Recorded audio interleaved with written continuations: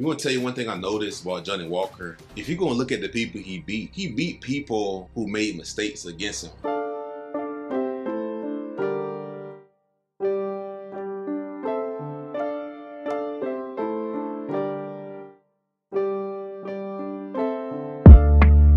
First off, like this video and subscribe.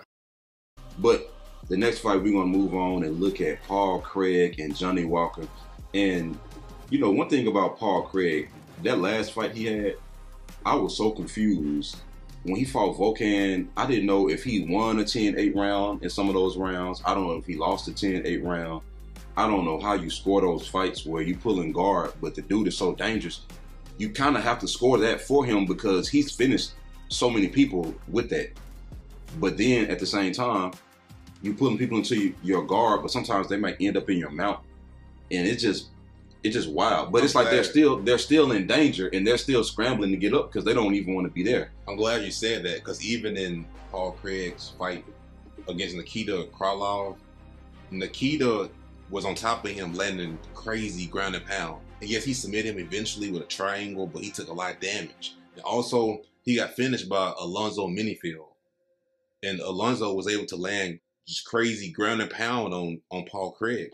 You know, so that's nothing. Even though it's like uh you live by the sword, die by the sword type of thing. Because we also see him take a lot of damage on his back too. I know. And then speaking of live by the sword, die by the sword, we got Johnny Walker burst onto the scene with well when he actually got to the UFC, knocking people out with all kind of stuff. You see here flying knee, spinning back fist, elbow. Then you get knocked out by Corey Anderson. Why was you fighting Corey Anderson? That was too much in 2019. Then they give him Nikita Krylov No, it wasn't. They was trying to fast track him like they did Jerry. to Jon Jones. Because remember, everybody was saying he No, was my bad. They were trying to fast track him like how they did Jerry. Yeah, no, no, I'm saying I agree because Oh yeah, yeah. they were saying that Johnny Walker's size was gonna give Jon Jones a problem, so they were trying to fast track him. So yeah, you're right. They were. Yeah. They did. So then uh, he got a win over Ryan Spann. That was mostly Ryan Spann fault. And I don't like that performance, man. He was getting hurt, and Ryan Spann had him hurt and was going for takedowns. And that was mostly. It was a good job by Johnny to stay in it, but that was mostly that was 90% Ryan Spann fault. But then we get up here to Thiago Santos. Not a lot happened in this fight, but Thiago got the decision. And you can kind of argue he won that fight. That wasn't a really Low-key. a bad performance because for him. neither one of them did too much. Yeah, but then just somebody had to. And then you get up here to Jamal Hill, where he was absolutely starched. yeah, he could stay at home that night. Could you know? But then shook back with a win over Ion Cutelaba. They throw you Eon when they want you to get back on track. That's just the guy that they kind of do that with. I'm gonna tell you one thing I noticed about Johnny Walker. If you're gonna look at the people he beat, he beat people who made mistakes against him. Like Cutelaba took him down. Cutelaba took him down, and then he reversed position and ended up taking his back and submitted him. Ryan Spann had him hurt. Was one for takedowns. Uh, Misha didn't get a chance. Justin didn't get a chance. Yeah, but Misha- But Misha got caught with a flying knee. That's that's kind of like a rookie amateurish type of mistake. Certain guys in top ten not gonna get caught with a flying knee like that, man. You, like so- uh, Magomed not gonna get caught with a flying knee. because at the very least he'll wrestle. Yes, I'm saying like he's beating people who are making mistakes. Either the, they When I say it again, because I was or he's beating fighters who they historically they made a bunch of mistakes in their fights, or they made mistakes in the fight against him. I don't think Paul Craig is going to make a lot of mistakes, man. And I think against top tier guys who don't make mistakes, I don't think he wins. Okay, but I got a question for you. Is Paul Craig about to pull guard with you want big Johnny Walker in your guard? That's my question. Because standing Yes. up, there is nothing Paul can do. Yes, I do. I want him in the guard because Johnny he doesn't have the highest fight IQ. I hate to say it, man, but So even okay, I think there's op- there's opportunities. I think it's 50-50 because there's opportunities for Johnny to sleep him, but I think it's also opportunities for Johnny to make to make a mistake. and real talk. That's Paul's only chance here because standing up is too dangerous against Johnny Walker. I It's- even think it's too dangerous. I even think Paul Craig can like play possum, pretend like he's hurt, and suck him in, and then submit him. he better relax though because they fighting in Brazil and playing possum. You might get uh, what's the dude that did that against? Cutelaba did against Manga. That's what I'm saying, and it didn't Yeah. work ever. I don't know if I'll play that game. You fighting somebody in their own country and you go to playing possum, they might really call that fight off. I think this fight, this fight is going to determine who's who's elite I don't know how to explain it. The bottom of the elites. Because both of them kind of been hovering around a certain Yeah. level where they've never. Yeah, they're both mid tier, but I think whoever win this fight, they're going to be the bottom of the elite guys. If that makes sense, man. Even if it's just ranked ten, hovering around the ten rankings, whatever. Yeah, I think one of these guys might get put into this Neil Magny category here pretty soon because it's almost like they can beat a whole bunch of people, but then they get to a certain level and then they kind of reach their ceiling. The But only thing is, is one thing though. Paul Craig, he got that win over Magomed. I know that if he can win, he put himself in a position where he's only lost one fight since 2019. But he got to throw some hands though, because I think the way to beat Johnny, sometimes Johnny struggle against fighters who has like good technical straight punches. But- boxing, But you know what's odd? Paul's striking looked good against Volkan. You know why though?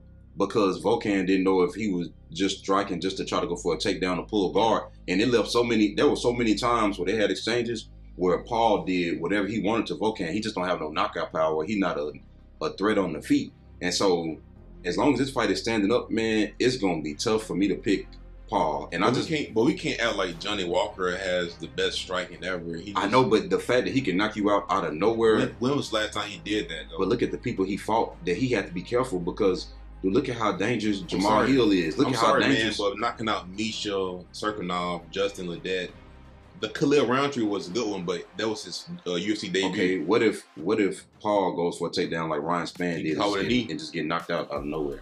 I don't think Paul Craig would do that. I think his entry would be a little bit smarter. His entry is going to be a pulling Pulling guard. guard, I know. So so now you got this man on top of you. And then he can't even get the fights to the ground. How Paul how Paul Craig get the fights to the ground? But the- the only thing is, Johnny, like you said, is not a high fight IQ fighter. He's an action fighter, live by the sword, die by the sword.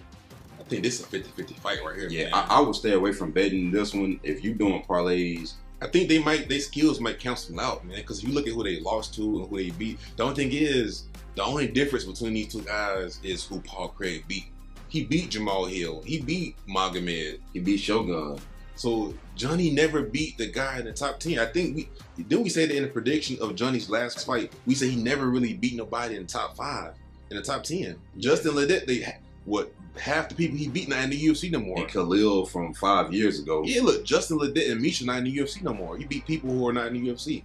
But for Paul to win, he got to get the fight to the ground without getting dropped. Man, I don't know how Paul gonna do it. He can get job done though.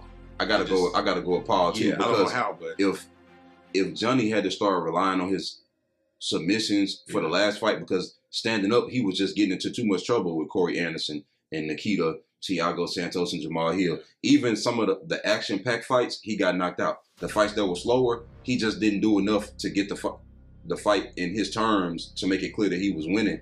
you know what that mean though? That mean when you overly aggressive, you ain't winning. When you're not aggressive enough, you ain't winning. Your back is against the wall. Now you start using submissions, but now you fighting against Paul Craig. Man, I got to go with Paul Craig some, some is- way somehow. I'm going with Paul Craig. But I would not doubt if Johnny knocked Yeah. his behind out in five seconds. See, that's what I was going to say. That's what I was going to say. I was going. I'm going with Paul Craig on this one. It's a low confident pick because I don't like to bet against Johnny Walker because he's so dangerous. I don't like to bet against Paul Craig because he's so dangerous, and they're fighting in Brazil. So hopefully he don't make the mistake of just getting too hyped up from the crowd and putting himself in a bad position because Paul can take advantage of that. I got to go with Paul here, man. Yeah, But me this too. again, low confidence. Yeah, John, Johnny could go in there and do a front kick I don't knockout in ten seconds. I think at the very least, Johnny can put together a game plan and just avoid the ground like Volkan. Volkan, the only thing Volkan did was avoid the ground. So I think at the very Volkan got a wealth of experience, and Volkan fights That's differently. true. Well, I don't care if it's three rounds or five rounds. his fight IQ higher. His than- fight IQ is way higher than That's Johnny's. No, because we always talking about if Johnny do this, if Johnny do that. It's like, bruh, that's over with, man. Yeah, so I'm gonna go with Paul Craig. Yeah, but it's gonna be a good fight though. I ain't gonna lie. That's a good way to Start to get the main card going.